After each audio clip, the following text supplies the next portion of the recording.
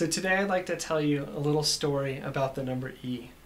Uh, e feels like sort of the randomest thing when you first learn about it.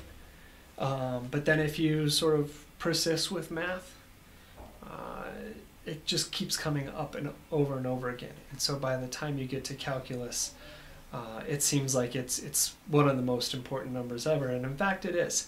Um, whether you're looking at e or its cousin natural log, which is, is sort of the inverse function, but based on e, uh, the version of, of logarithms that involves e, um, it turns out to be sort of the this straight and narrow line in the world of calculus. Um, and it seems like how can a number that sort of came up out of nowhere and felt totally random, how could it be so important later on? And I think one of the things that makes us feel that way is the way that we get introduced to E. Um, this is the definition that I think most people get for E in school. And then it's sort of no surprise that people don't connect it to anything because it's pretty mysterious. So the, the school definition gives E as a limit. So as n gets really, really big, this expression supposedly gets closer and closer to the number e. And then this, this defines e. Now, for anyone who's not used to it, this looks really, really random and like alphabet soup, and you can't make anything of it. Um, but even people who remember sort of what was going on in school the day when this thing came up have a hard time making anything of it when they get to the other ways that E comes up in like calculus and stuff like that. Um, so this this comes up in the course of learning about compound interest usually. And this expression here, as random as it might look to other people, for people who study compound interest, oh, that looks kind of like compound interest. Um, and so one way to describe it is this is what compound interest looks like when you compound it continuously. You also might ask, why would such a seemingly like niche topic as compounding interest continuously have such a fundamental role in all of calculus? Um, and that even understates it a little bit. For people who stick with math even longer, the, the fundamental or central role that E plays in everything turns out to only get bigger over time. Um, so what I want to do today is to give you another definition of E that's sort of the right definition. Um, I mean, not that, that any one definition is any more correct than the others, but at least a definition that will be easier to make sense out of when you say to yourself, what is E? And then how do you, you, know, coordinate that with the things that E is doing in, in the world that you're working in? It makes a lot more sense than this. And to get us started, I want to dig into this, this claim I made that, that E in this definition doesn't make a lot of sense. I mean, we can all see that it looks like gobbledygook, but I, uh, I mean, let's take let's take another number that's sort of complicated. So that pi, we all know that if we write that out those decimal digits, we're going to have to keep going, and there's no pattern that's going to make sense of them for us. Uh, so pi is in a lot of ways sort of a complicated number. But in terms of its definition, when you say what is pi, it's very simple. Take a circle, take its circumference, measure it, divide it by the, the diameter of that circle, you've got pi. That's its definition. It makes some obvious sense in terms of a, a basic geometric figure. We don't get quite that lucky with E. Um, but in the same way, we might want to sort of have a sense of knowing what we feel like it is, and then also, if we ever need to use it, knowing around how big it is. So, how could you look at this and get a sense for how big E is? It's kind of hard, even if you're familiar with limits. So, the idea of a limit is that as you keep giving me bigger and bigger n's, I can plug them in and what I get when I plug n in and do the algebra should be pretty close to the eventual number e. But plugging in bigger and bigger n's here is hard. It doesn't make a whole lot of sense. You have to know a lot more about limits to be able to do that than you know just sort of looking. Um, if I plug in big big numbers here, then I have 1 divided by a really big number. That's a really tiny fraction. As n gets bigger, that's going to get closer to 0. Um, and this is how this is the kind of plugging in and thinking about limits that most of us will learn how to do over the course of a calculus class, let's say. And so 1 plus a really tiny fraction is just pretty much about 1. And then I'm going to take that number and I'm going to raise it to bigger and bigger and bigger numbers. And so that seems like raising 1 to bigger and bigger and bigger numbers, but I know that raising 1 to any power is just 1. So from that way of thinking about it, it seems like e should be 1. And then in that case, what's the big deal? Now let's think about it from the other direction. Um, whatever it is, this is going to be a number that's bigger than 1.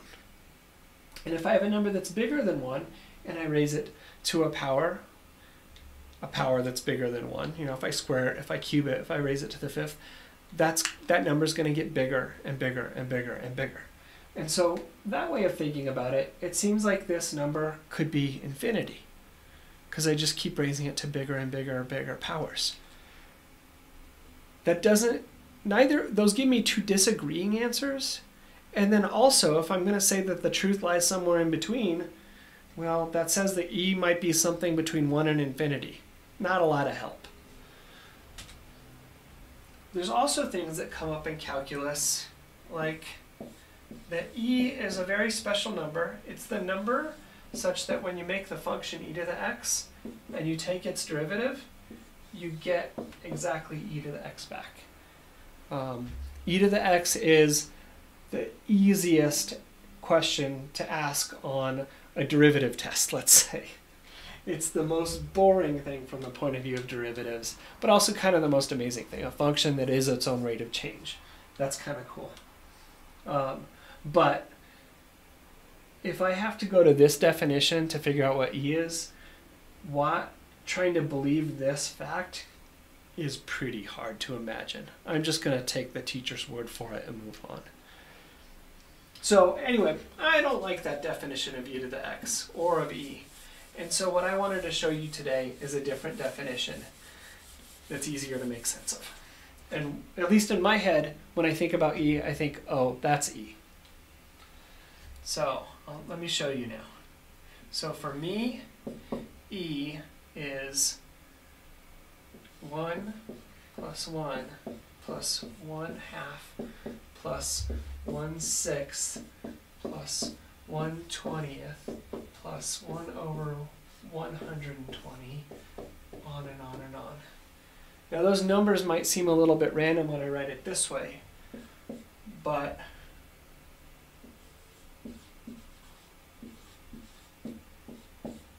when I write it this way, it maybe makes a little bit more sense. Now this is a very informal way to write this. Most people wouldn't write it down that way. They would write it down either as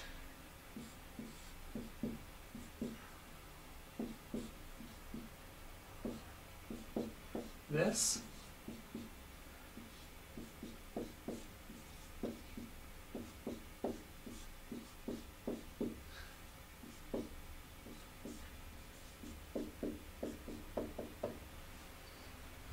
or the very compact and fancy way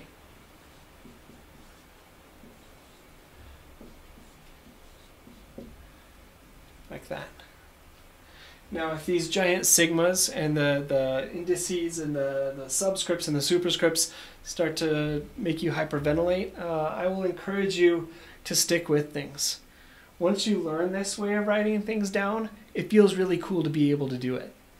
Um, and it also feels like something that previously felt very intimidating can be within your wheelhouse. And all it is is a notational shorthand. This big sigma means I add some things together.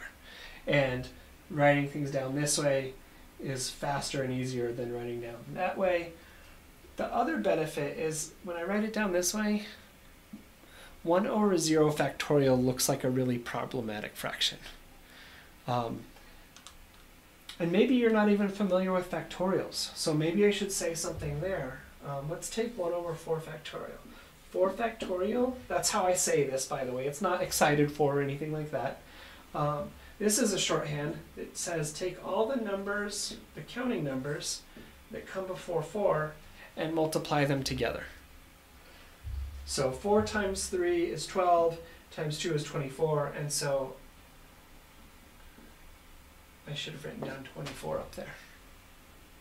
Shows you how well I have this form internalized in my head that I wrote it down the wrong way up there. So that's what a factorial is. You multiply all the numbers leading up to that number. Um, so 0 factorial, well, what are all the numbers leading up to 0? Uh, it doesn't make sense, does it? So because we want this compact formula to work out, mathematicians decide that 0 factorial is by definition equal to 1. Everything works out nice when we define it that way, and we get to make the rules, so we define it that way. Um, 1 factorial is obviously 1. 2 factorial is 1 half. And so it doesn't matter if you write down 1 half or 1 over 2 factorial, they're the same thing. And you'll see them sort of interchanged a lot, at least in my writing. Um, so a lot of those little like messy edge details and stuff aren't as obvious when you write it down that way, which is another reason to use it. So you sort of uh, prevent questions that you don't really want to deal with and that don't end up being interesting. So that's my definition of E though. So 1 and 1 and 1 half and 1 sixth and 1 24th, not 1 20th, and 1 over 120 um, that is my definition for E. Um, right away, there's some things we can pick out about it that are a little bit better than the other definition of E. Um, for instance, how big is E? Well, it's 1 and 1, so there's 2, and then a half, and then some other little bits. Now you might say that, okay, I'm adding infinitely many things together. So maybe E is just infinity all over again. Um, and if you haven't spent a whole lot of time adding infinitely many things together, it can feel problematic. Um, but we are all familiar with ways in which we add things together infinitely many times and end up with a finite amount. We just don't think about it. So our decimals are an instance of doing this when we write out pi as 3.1.1459 on and on and on, what we're doing is we're saying 3 and a tenth and 4 one hundredths and a certain number of one thousandths and a certain number of ten thousandths. And it's not just for numbers like pi that go on forever in this weird way, but a number like a third. A third is 3 tenths and 3 one hundredths and 3 one thousandths and 3 ten thousandths on and on and on and on. All those discrete numbers added together to make this number that is, is in a lot of respects very simple, one third. Take a pi and divide it into three pieces. Um, but from the point of view of decimals, you've got to write it out forever. So in general, there's nothing really all that strange about adding infinitely many things together and getting a number that's smaller than infinity. The real trick is that if you're going to keep adding, the things you're adding have to get tiny. And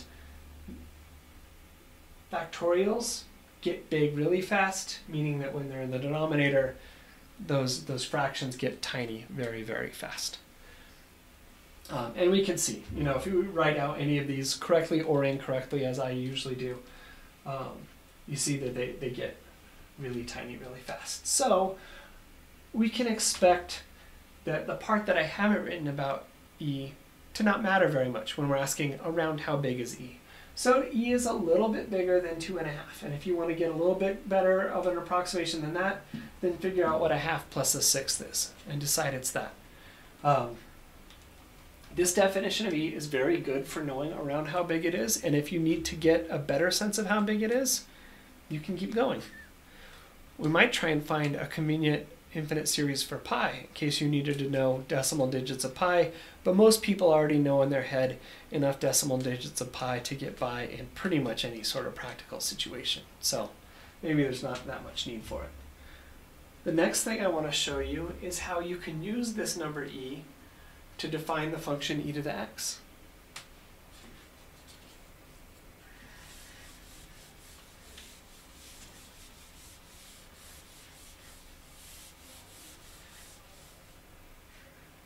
So let's write it down. Let's write e as the fancy way, the sum from n equals 0 to infinity of 1 over n factorial. Now if you've ever seen power series before, this will feel like a very natural thing to do, what I'm about to do. If you've never seen them before, it'll look arbitrary, and so I can't really do anything about that except to begin to tell you the usefulness of power series. So in general, um, a power series is like a decimal, but for functions. So if you can make any number we want out of a decimal that goes on long enough, you can make a function out of a polynomial that goes on long enough. So powers of x. So we describe power series in terms of this many constants plus this many first powers of x plus this many second powers of x, on and on and on. This infinite polynomial to describe a function. And that's what power series are.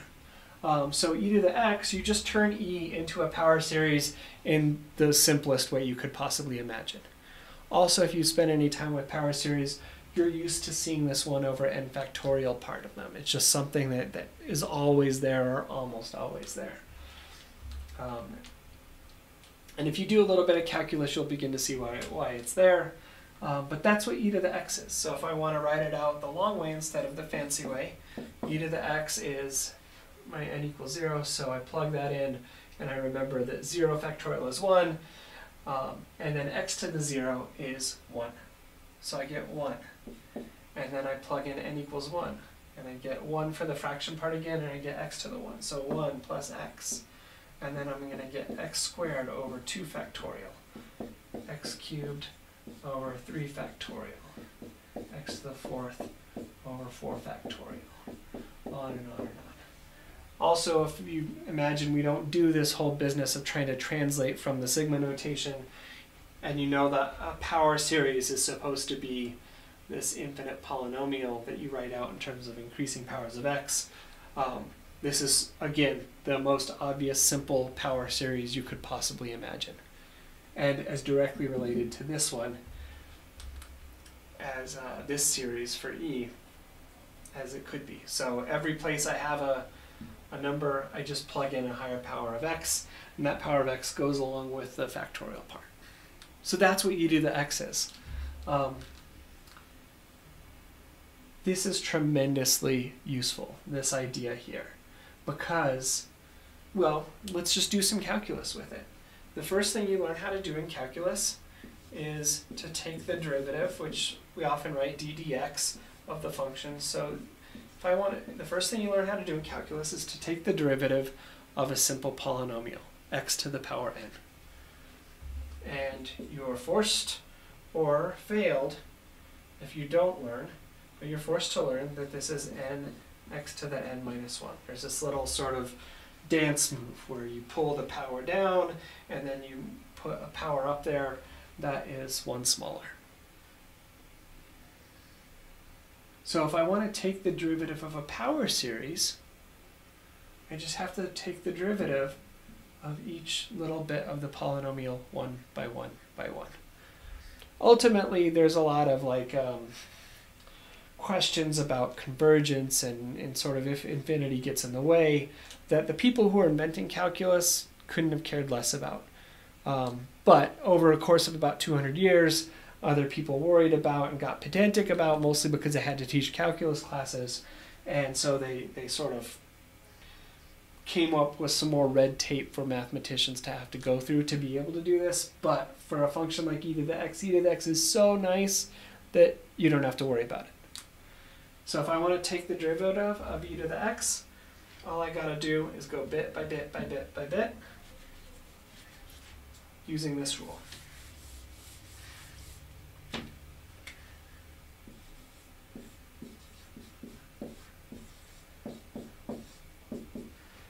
Derivative of 1 is 0. Derivative of x is 1. Derivative of x squared is 2x. derivative of x cubed is 3x squared.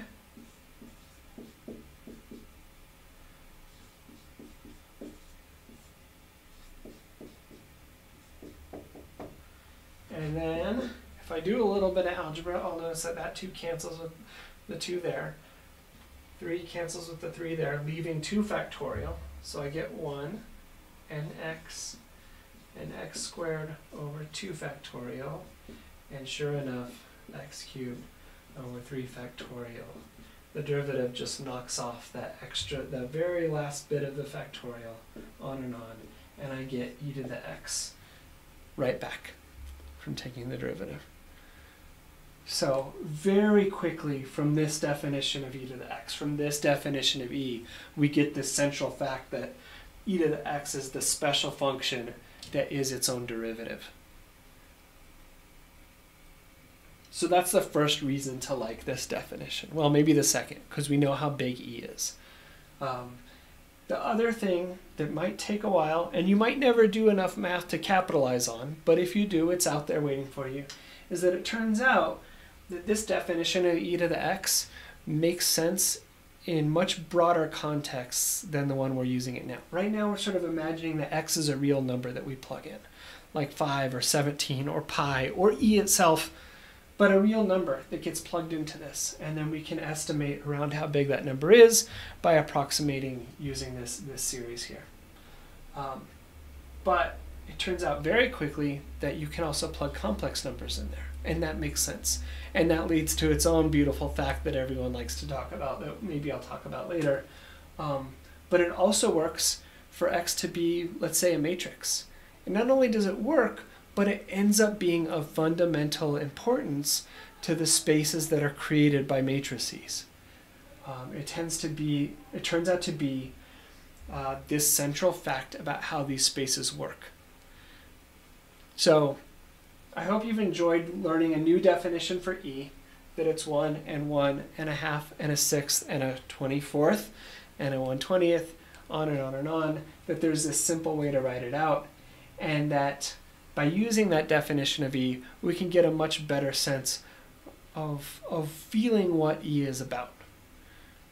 So uh, I hope this is uh, just the beginning of us digging into the stories and the, the characters of the numbers that, that we know, and then learning about numbers that, that we don't know, and getting a strong feeling for them. I hope you enjoyed it, and I'll talk to you again soon.